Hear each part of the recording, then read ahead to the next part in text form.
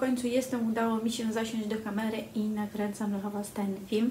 E, Dziękuję wszystkim za to, że czekałyście, że mm, e, opublikowałam właśnie na mojej stronie community, e, jaki film byście chciały zobaczyć. No i oczywiście wyszło o nowościach. Ja te nowości, które ostatnio wyszły, pokazywałam Wam w shortach, w tych krótkich reelach. Mam nadzieję, że wszyscy obejrzeli je. Nie mam tych wszystkich zapachów, nie wszystkie są w moim guście, no ale tak pomyślałam, że dawno nie było też tych gazetowych nowości, mm, a nieraz pokazuję właśnie takie próbki gazetowe, więc dzisiaj e, one będą jakby włączone do filmu. No i pokażę Wam e, Valentino Stravaganza, która wyszła, która e, jest taka w moim typie. Ja ją kupiłam dawno, nie miałam czasu nawet jej omówić, więc dzisiaj będzie w moim filmie.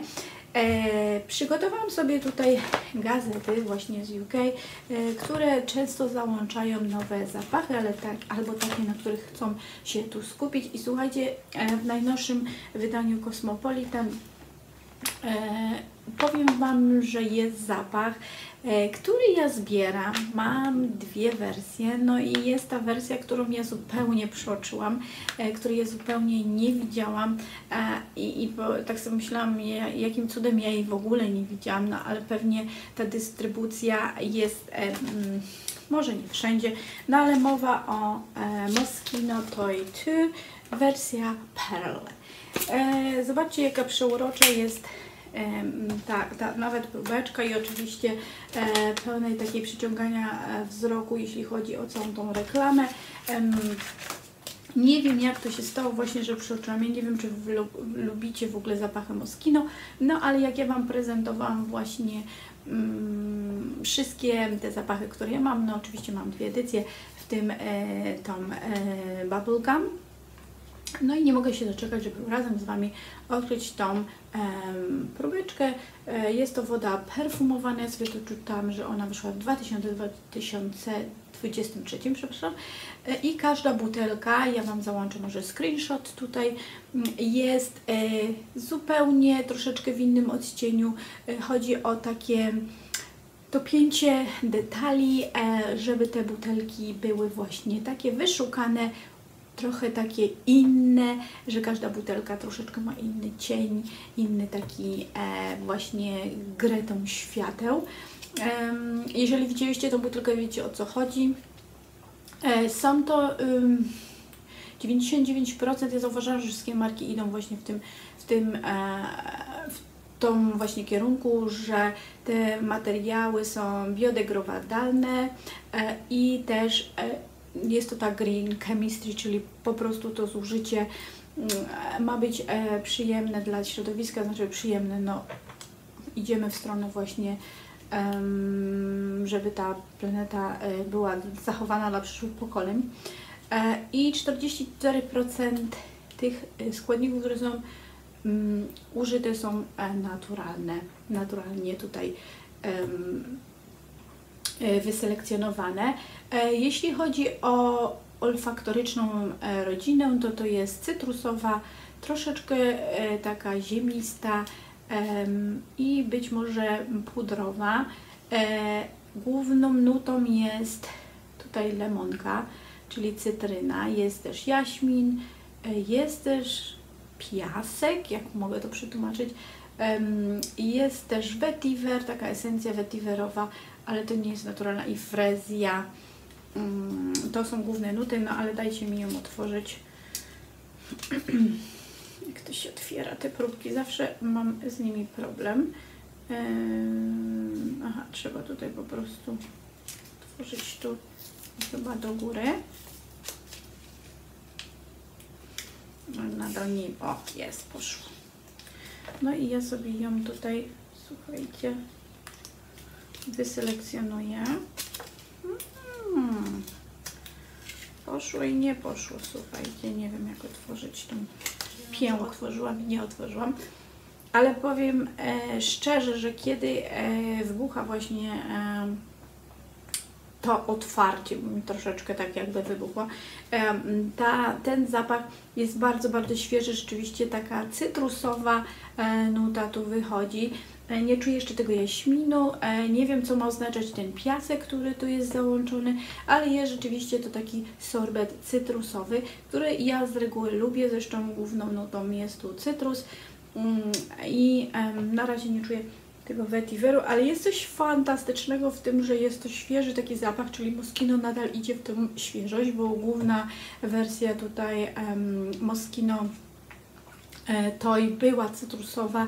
Ja ją bardzo lubię, uważam, że ona jest właśnie takim unisexem też. No i tutaj idzie właściwie cały czas w tą samą stronę. E, Jest to naprawdę bardzo, bardzo świeży. Uwieźcie mi takie lody cytrynowe, taki sorbet, takie odświeżenie, coś takiego właśnie na wiosnę, na lato. Mniej zobowiązującego, ale jest coś, wiecie co, przypomina mi to trochę Light Blue Dolce Gabbany, nie wiem czemu. Em, Być może później otworzy się ta nuta właśnie vetiverowa i ten jaśmin, ale główna nuta jest naprawdę cytrusowa. To tak takie masło maślane wyszło, ale naprawdę to jest moje pierwsze skojarzenie, ale nie wiem, czy się nie zainteresuje ze względu na unikalność właśnie tej e, pięknej butelki. E, tutaj jeszcze patrzę sobie, jakie zapachy są jeszcze w Wołgu. Em, Ostatnim jest, tada, wy uwielbiacie ten zapach, Giorgio Armani Sea, to jest nowa woda e, z refill, czyli możecie właściwie kupić go refill, um, Oda Eau de Parfum en Tons. Słuchajcie, ja nie przypadam za Sea. Ja nie wiem, to, nie, to jest, nie jest moja rodzina zapachowa, no ale przetestujmy tą piękną, wyrafinowaną, bardzo kobiecą wodę. E, co jest w nutach głównych? Em, tak sobie tutaj szybko czytam. E, jest róża, jest dawana. Nie wiem, co to jest dawana. Jest nektar tutaj czarnej porzeczki, czyli może będę lubić jednak, może będę lubić. I paczula. E, jest to taki wyszukany, bardzo intensywny, kuszący zapach. co to jest ta dawana? A, to są takie żółte kwiatki, słuchajcie, nie wiem jaka jest nazwa e, w Polsce, ale bardzo piękna. Ja znam na pewno, nie przychodzi mi do głowy nazwa po polsku. Jak znajdziecie, to dajcie mi znać. Wy zawsze przychodzicie mi tu z pomocą. E, oczywiście główną nutą jest tutaj róża. Róża, która pochodzi z Parta Rose. E, czyli jest to mm, taka róża nad, różą, nad różami e, z regionów tu e, tureckich, czyli z Turcji. Mm, Ale bardzo mnie intryguje ten nektar porzeczkowy, więc go otwieram. Nadal. Aha. Nadal czuję ten piękny mos moskino, naprawdę bardzo piękna wersja, chyba dla mnie. No, otwórzmy to i ja sobie mm, tutaj dyskretnie położę na rękę. O mój Boże, to jest bardzo drzewny zapach, bardzo drzewny, bardzo taki wyszukany, wyrafinowany. Ja bym powiedziała dla kobiety, która wie, czego chce, taki, dla mnie to jest trochę drapieżny zapach, więc ta róża, ja jej w ogóle nie różę, nie, nie, nie czuję, znaczy ja lubię róże, ale być może to jest taka róża, która nie do końca jest moją różą. Ja tu czuję jaśmin, nie, widzę tu w nutach w ogóle jaśminu, nie czuję w ogóle tego nektaru em, porzeczkowego. E, szukam, szukam, słuchajcie, no tak, bo tu są, jest rezin, e, czyli e, generalnie jest to bardzo drzewny, taki żywicowy troszeczkę zapach. Pierwsze otwarcie jest takie, słuchajcie, jak macie kadzidło i zapalacie to kadzidło, to ja tak odczuwam te, te perfumy. Ta pierwsza nuta, która tu uderza, nie powinna być właśnie tą nutą, powinna być właśnie ta porzeczka, wydaje mi się, i ta róża, i ta dawana. Natomiast dla mnie jest to typowo drzewny, drzewny zapach. Na pewno nie będzie moim, ale jest w nim coś takiego, że na pewno będzie przyciągał, bo jest to e, zapach Widać, że będzie długotrwały. E, jeśli lubicie takie żywiczne, takie właśnie drzewne, takie smoki bym powiedziała, takie e, naprawdę mm, ogniste zapachy, bo tego słowa mi brakowało, to będziecie lubić. Na pewno nie jest to zapach dla mnie, no ale fajnie, że można kupić tylko refill, czyli będzie e, jak ceny perfum idą w górę, mm, to tutaj słuchajcie, na pewno będzie troszkę tańszy, chociaż nie wiem jak to się teraz przekłada. I słuchajcie, mm, nie ma już więcej próbek w żadnej gazecie, sobie tutaj przeglądam, przeglądam, czy coś nowego będzie, a przecież tyle wyszło nowości e, i generalnie mm, one są takie troszkę inne i e, powiem Wam, że mnie zadowalają w tym roku. Jak w zeszłym roku mnie nie zadowalały, to w tym zadowalają. No ale... Mm, Tadam, przechodźmy do Valentino. Ja gdzieś zgubiłam butelkę, to jest, oczy, a mam butelkę, Born in Roma, Green Stravaganza. Znowu super zapach, bym powiedziała na taki zielony, na e, tutaj na wiosnę, która mam nadzieję niedługo przyjdzie, bardzo zielony, taki świeży, tak jakby skoszona trawa, gdzieś tam słońce, które już nas uderza. Mm, no i e, powiem Wam, że ja na nią długo polowałam. W ogóle lubię wszystkie te Bornin Roma e, i, i one do mnie jakoś przemawiają, ale już Wam powiem, jakie są tu nowe nuty, jakie tu są nuty. Mm, bo powiem szczerze, że chciałam się skupić bardziej na tych nowościach. Więc jest to zapach a, czyli jest też taki drzewny. Ja powiem Wam tak, jak ja kupuję zapach, to ja nigdy, ja, ja to robię bardzo spontanicznie.